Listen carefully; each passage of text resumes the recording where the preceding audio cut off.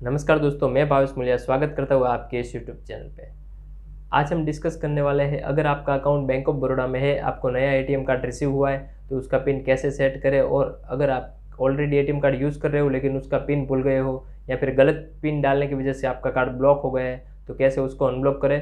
तो चलो दोस्तों स्टार्ट करते हैं आज का ये वीडियो सबसे पहले तो आपको नियरेस्ट बैंक ऑफ़ बड़ौदा का कोई भी एटीएम मशीन है, वहाँ पे आपको विज़िट करना है। जैसे ही आप मशीन में एंटर होते हो, आपको इस टाइप का इंटरफेस दिखेगा। उसके अंदर आपका कार्ड एंटर करना है। जैसे आप कार्ड एंटर करते हो, आपके सामने इस टाइप का इंटरफेस खुल जाएगा। इसमें लिखा है प्लीज़ सिलेक्ट योर लैंग्वेज इसमें तीन लैंग्वेज है। आपको जो भी सूटेबल लैंग्वेज हो, आप सिलेक्ट कर सकते हो। मैं यहाँ पे इंग्लिश लैंग्वेज सिलेक्ट करता हूँ। जैसे हम लैंग्वेज सिलेक्ट करते हैं, उसके बाद ये नया पेज ओपन हो जाएगा। इसमें लिखा है प्लीज़ सिलेक्ट योर ऑप्शन यहाँ पे दो ऑप्शन दिया हुआ है। पहला ऑप्शन है, एक एंटर पिन और दूसरा ऑप्शन है सेट रीजनरेट पिन हमें सेट रीजनरेट पिन वाला ऑप्शन है, उसके ऊपर क्लिक करना है। जैसे ही आप उसके ऊपर क्लिक करोगे, आपके सामने एक नया पेज ओपन हो जाएगा। यहाँ पे लिखा है enter your forty digit account number यहाँ पे आपका चौदह अक्षर का जो बैंक ऑफ़ बड़ौदा का अकाउंट नंबर है, वो यहाँ पे पूरे का पूरा लिख देना है। यहाँ पे मैं यहाँ पे अकाउंट नंबर एंटर कर देता हूँ। जैसे ही आप अकाउंट नंबर एंटर करोगे तो उसके सामने जो करेक्ट वाला ऑप्शन है, उसके ऊपर क्लिक करना है। जैसे आप क्लिक करोगे, फिर से एक नया पेज ओपन हो जाएगा।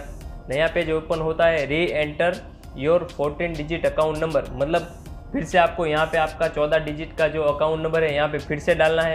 यहाँ पे मैं फिर से डाल देता हूँ अकाउंट नंबर अकाउंट नंबर डालने के बाद एक करेक्ट वाला ऑप्शन है, वहाँ पे आपको फिर से क्लिक करना है। जैसे आप क्लिक करते हो फिर से एक नया इंटरफेस ओपन हो जाएगा। यहाँ पे लिखा है enter your ten digit mobile number यहाँ पे आपको मोबाइल नंबर जो आपका बैंक में रजिस्टर है, वो मोबाइल नंबर आपको डालना पड़ेगा।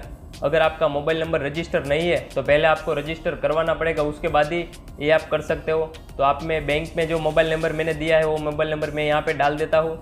फिर उसके सामने जो करेक्ट वाला ऑप्शन है, उसके ऊपर मैं क्लिक करता हूँ।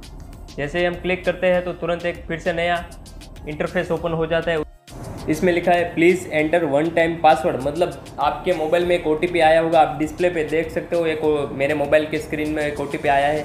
वो जो ओटीपी आया है, वो इधर आपको डालना है। जैसे ही आप ओटीपी डालोगे, उसके सामने एक करेक्ट ऑप्शन है, उसको प्रेस करना है। जैसे आप करेक्ट ऑप्शन प्रेस करते हो तो आपके सामने एक नया पेज ओपन हो जाता है। उसमें लिखा है please enter your PIN number मतलब आपको जो भी नया पिन बनाना है, वो आपको यहाँ पे एंटर करना है। यहाँ पे ध्यान रखने वाली बात है कि आपको ये पिन किसी के साथ शेयर नहीं करना है, क्योंकि आजकल आप देख रहे हैं, बहुत सारे फ्रॉड हो रहे हैं। हर रोज़ न्यूज़पेपर में आता है, कोई किसी का किसी का पैसा उठ जाता है। आपका एटीएम कार्ड का जो भी नंबर है, या पीछे सीवीवी नंबर है, वो कोई भी फ़ोन से अगर ऐसा बोलते हैं, बैंक से मैं बोल रहा हूँ, आपका अकाउंट ब्लॉक हो गया है, या कृपया आपका एटीएम कार्ड का नंबर दीजिए। तो आपको कुछ भी डिटेल शेयर नहीं करना है, ध्यान रखने वाली बात है। ये पिन भी आपको किसी को शेयर नहीं करना है। तो यहाँ पे मैं पिन डाल देता हूँ। जैसे आप पिन डालोगे, फिर से एक नया ऑप्शन ओपन हो जाता है।